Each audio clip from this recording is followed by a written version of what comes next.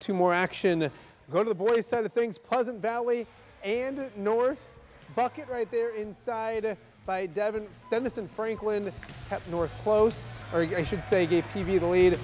Then more from PV, Max Mosaic with that bucket. It was a 15-point lead. Home team trying to stay close. There's Dennison Franklin once again, cutting it to 14.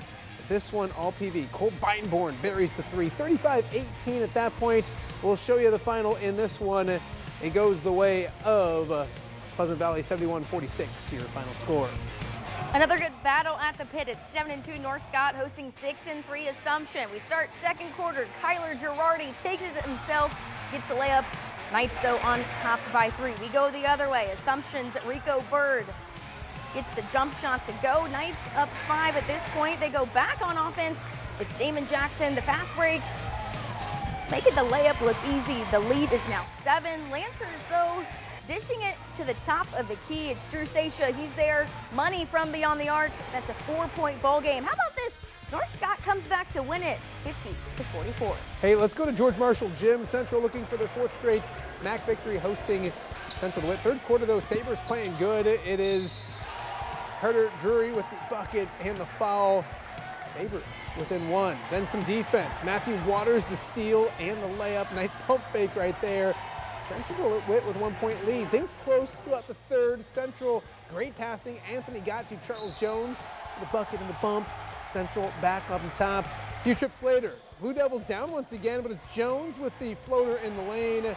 This one will go back and forth until Central gets hot late in the third. It's Tracy Hazlett with the steal. He puts it in with the layup. That puts Central up. They never look back. Davenport Central wins this one 71-52, your final score. Bettendorf looking to keep pace as they welcome Muscatine to town. Second quarter, Muskies down. Sam Emmert drives, feeds to Caleb Bettis for the short jumper, 28-15. Muskies, Michael Henderson gets in the paint, layup plus one, 28-17. But Bettendorf would go to their superstar, Caden Wilkins. Drives, tough layup, 30-17 at that point. Bettendorf, your winners, 75 To the Western Big Six we go. Fourth ranked Moline making the trip down to Galesburg to take on the Silver Streaks. First quarter, it's Grant Welch with the three, 3 nothing Moline early on. Then check out the alley-oop. It's Brock Harding to Owen Freeman for the slam. Nice. 5 nothing Maroons early. They were just getting warmed up. Welch to Harding, this time on the fast break. Harding nails the three. 12 nothing early on for Moline. Galesburg tries to fight back. Jackson clock sibbing with the bucket right here to cut the lead with the baseline jumper down to 10, but more from Moline. It's Freeman with another dunk. Moline, it's got a big one tomorrow night. They got ready for Chicago Simeon with an 83 36 victory. Next stop, Geneseo, where the Maple Leafs and Rocky get busy in Big Six play. The Rocks wipe out one point deficit as Desmond Jackson connects from downtown. Rocks up by two. The Leafs edge back in front. Mason Loving. He'll drill the triple for Geneseo, but the Rocks continue to attack. Cameron Figs gets into the paint for the driving layup. Rocks starting to take control of the long outlet to Figs for the layup at the other end. Geneseo would have no quit in them. Lonnie Couture in a short range jumper nicely, but the Rocks force 21 turnovers. This one turns into a Jackson flush at the other end. He scores 14. Marcus Queen 16. 78-50. The Rocks win.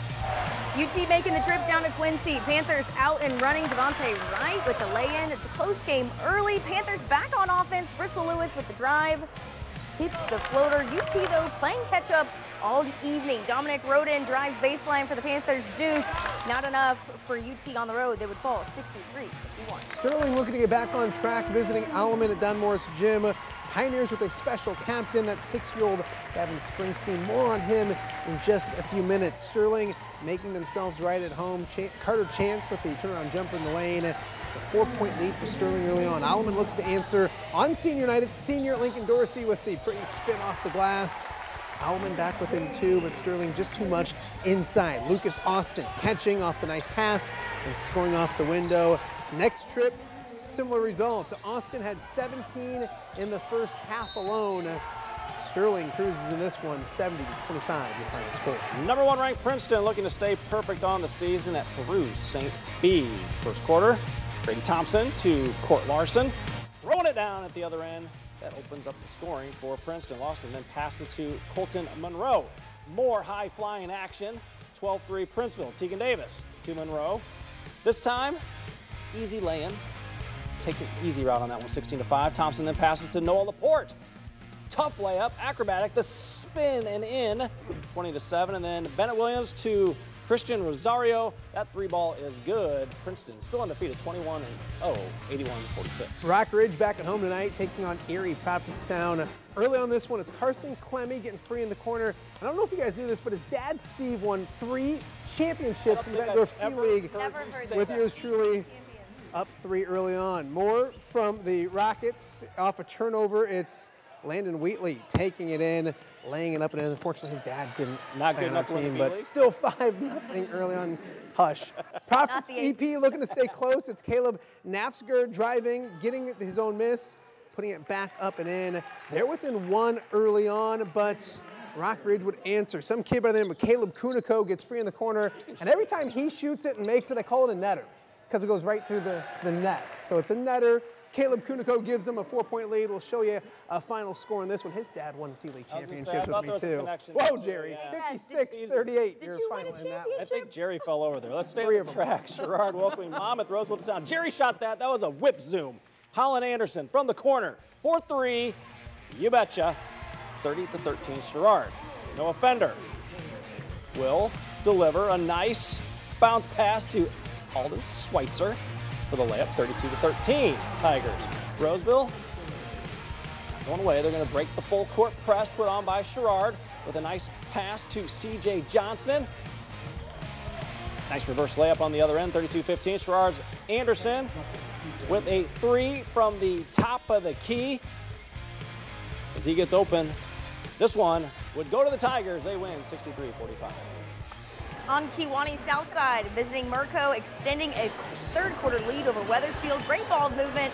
William Fredrickson for the 44-21 advantage. The Geese, though, taking a gander, making a comeback. Caston Rash, perfect touch on the three-pointer. Then soon after, Mercer County goes to Jude Hoffman for the layup. It's a 22-point lead after that. Golden Eagles continue to soar. It's Fredrickson again, strong on the offensive glass and the putback. Merco picks up the 62 36 win. Hey, let's hit the scoreboards. It was Kewanee over Mendota by seven. Also, Spring Valley Hall by six over Bureau Valley. Next group of boards says Orion and Morrison. That one goes the way of Morrison by three. Stark County, one game back with a 19 point victory. Knoxville and Annawan, that one goes. Actually, Ridgewood and United, that's a four point win by United. It is A Town beating Galva 70 to 54.